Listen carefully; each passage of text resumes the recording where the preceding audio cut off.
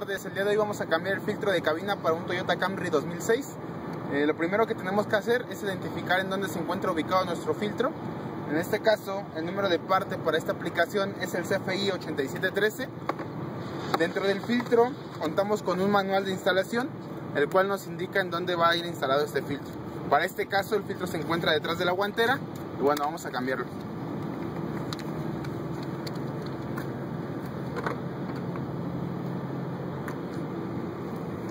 Una vez ubicado el filtro, el filtro se encuentra detrás de la guantera, lo primero que tenemos que hacer es abrir nuestra guantera con un destornillador.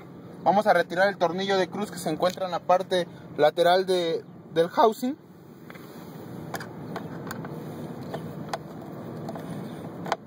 Retiramos el tornillo.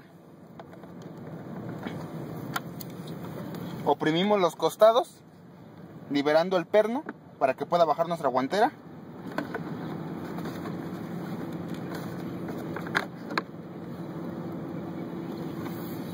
Y como pueden ver aquí se encuentra alojado lo que es nuestro filtro lo que prosigue es retirar la base en donde va a ir nuestro filtro y listo. Como pueden ver este es un filtro saturado el cual representa un consumo excesivo de combustible lo que vamos a proceder a cambiar el filtro en la marca Interfil. Lo que sigue a continuación es instalar nuestro nuevo filtro de cabina. Recordamos el número de parte CFI 8713 para el Camry 2006 vamos a colocar lo que es nuestro filtro dentro de la base.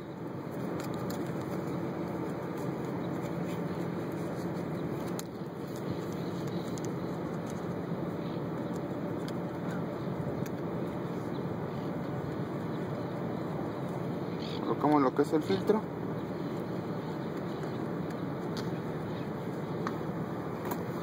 Previamente ya limpiamos lo que es nuestro housing e instalamos nuestro filtro.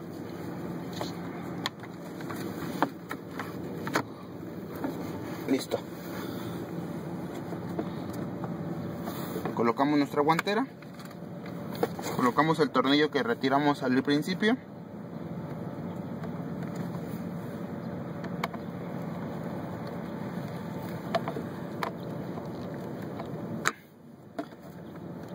Subimos nuestra guantera.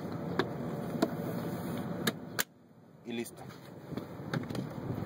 Como vieron cambiar un filtro de cabina no nos tomó más de 10 minutos. Lo recomendable es cambiarlo cada 20.000 kilómetros o cada año, lo que ocurra primero.